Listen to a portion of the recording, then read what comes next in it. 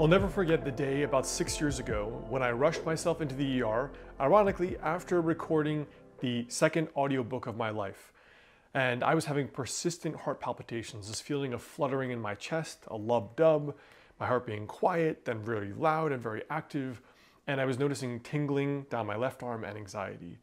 Now, I was pretty confident I was not having a heart attack. Maybe it was just a panic attack, but the heart palpitations sent me into the ER and I had heart palpitations for years after that time period. Now, for those of you who have had palpitations, you know how scary they can be if you've never had that sensation in your chest before.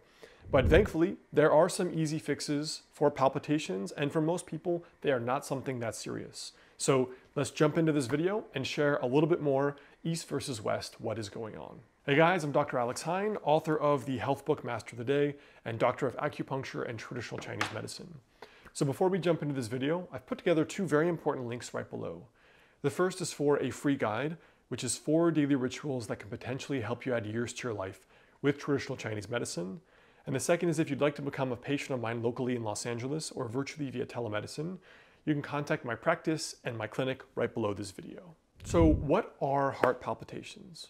Very often it is just an irregular heartbeat that can be caused from myriad different things that range from stress, to medications, to certain conditions like hyperthyroidism, to all kinds of different things. If I give you just a general overview of what can potentially cause palpitations, it ranges from what we just talked about to even sometimes food allergies like gluten, certain medications, over exercising or overworking with not enough sleep, so more of the nervous system, can be magnesium deficiency, can be even EMF exposure. There's some research on that. It can be bile sludge for some people. We're going to talk about digestive palpitations in just a moment. But in general, there are two general buckets that these palpitations fall into that we'll talk about in just a second. But the reason I bring it up is because I want to point your attention to this one research paper. Now, this particular paper is called Resting Heart Rate and the Risk of Cardiovascular Disease, Total Cancer, and All-Cause Mortality. Now, I want to point out this one little comment here where the researchers found that there was a correlation, meaning there was an increased risk of coronary heart disease, sudden cardiac death, atrial fibrillation, stroke, cardiovascular disease, and all-cause mortality with a greater resting heart rate. Now, for those of you who are reading this and have a, rest, you know, a heart rate above 75 or above 80, don't let this freak you out whatsoever. I want to point it out because it is going to illustrate something very important for our next point here. From a traditional Chinese medicine point of view, there are two general buckets of diagnoses that palpitations fall into. The first bucket is what we call heart yang deficiency. And I want to describe this progression as well as how we treat it. When a person is ordinarily working hard, or let's say they physically work out, the body will create an elevated heart rate, right? Because the body, the heart, the cardiovascular system, the oxygen, the body has to respond to these increased demands, like if you are physically exercising. But sometimes that happens when the body is not physically being used, and that's during the stress response, right? That's why somebody can work all day on a computer. Their body's not physically moving. They're not digging ditches all day. They're not even physically moving, and yet they're noticing their heart rate in their chest. And if they have an Apple Watch or they're using some kind of method of tracking their pulse rate, the pulse may be 70, 75, 80, 95, 110. That's a result of the stress hormones that are shooting through that person's body. Now, from our point of view, the heart is the mirror of the nervous system, right? The heart yang, the heart function, is not only the mirror of the spirit in many ways, right? We're shocked or we're heartwarmed by something, we clutch our heart, our chest. So what happens is as the heart rate gets elevated with stress, let's say you have a really stressful phase of life or you're working 60, 70 hours as a grad student or a, tough job, right? You're working in a competitive industry. So your heart rate is elevated over time. And eventually that elevated heart rate, the way we view it as every, let's say day, your heart rate is highly elevated. It's almost like you're taxing your batteries that much more.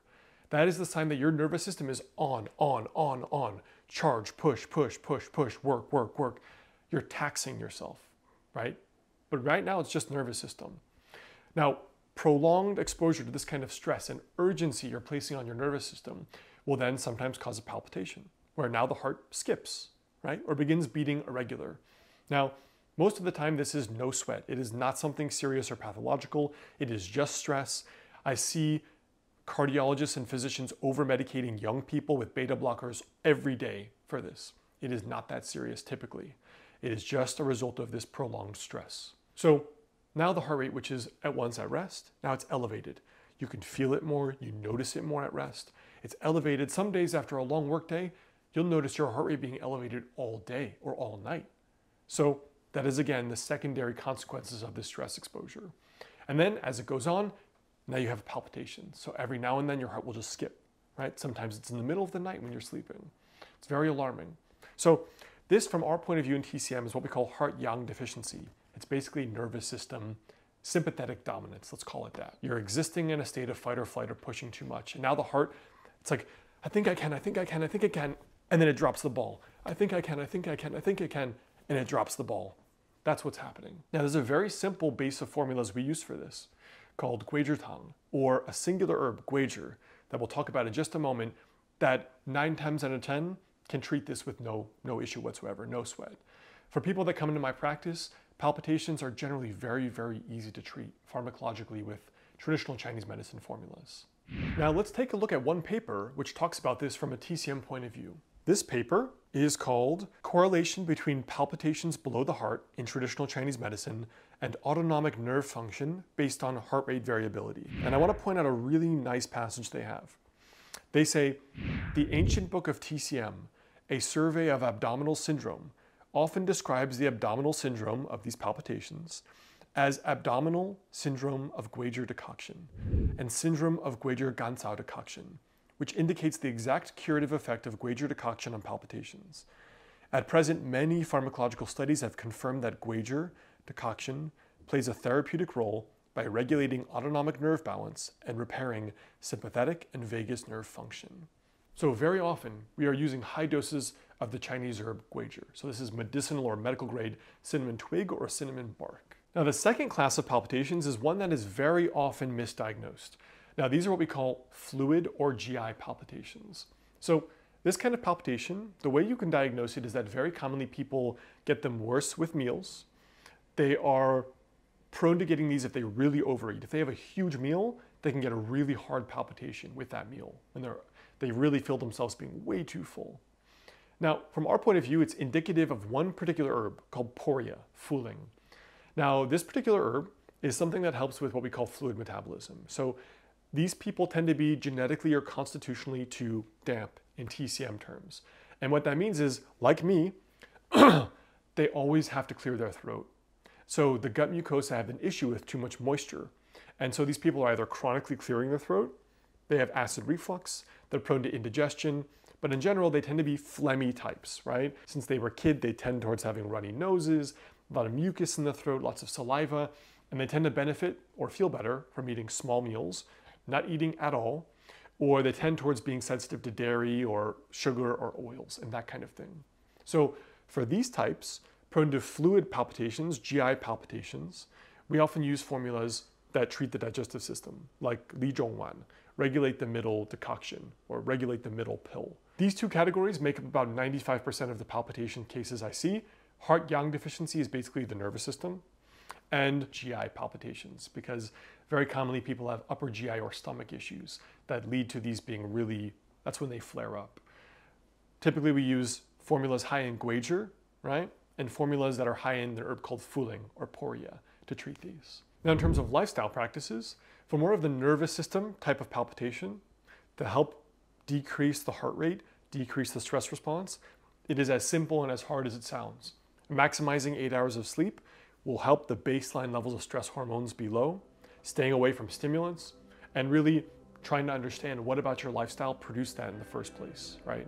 Sometimes it's medications too, but in general, look at your lifestyle, what you did the last year or three or five years, and just do the opposite. For the GI palpitations, eating much smaller meals, staying away from dairy, too many oils, and sugar, and just basically overfilling the stomach, which can exacerbate that. So my two cents for you today here, guys, Again, check out the links right below this video, and I will see you soon.